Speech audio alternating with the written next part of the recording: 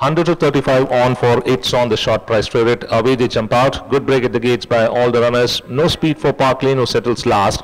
And Pedro Planet takes to charge from Silk followed by It's on Shazia deeper out between the runners looking for a gap between the runners who came from draw one is Lights On followed by Double Bonanza Eastern Blaze and last is Park Lane.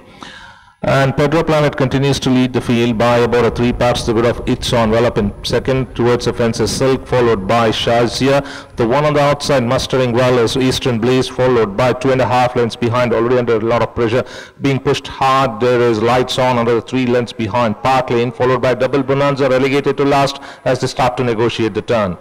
Entering the straight and Pedro Planet still the leader by half in front of cruising up on the outside is It's On towards the fence is Silk followed by Eastern Blaze. They followed then by Shazia and Lights On with Silk gaining momentum on the inside beating off uh, Pedro Planet whereas It's On now under pressure drifting out followed by uh, then there is Eastern Blaze with Silk drawing clear by about two and a half to the of It's On followed by Pedro Planet. But it's all going to be Silk to the post winning it quite comfortably by about two to the of uh, It's On, followed by Pedro Planet, Eastern Blaze. They followed then by Lights On, Park Lane, Shazia, and last to pull up, Double Bonanza.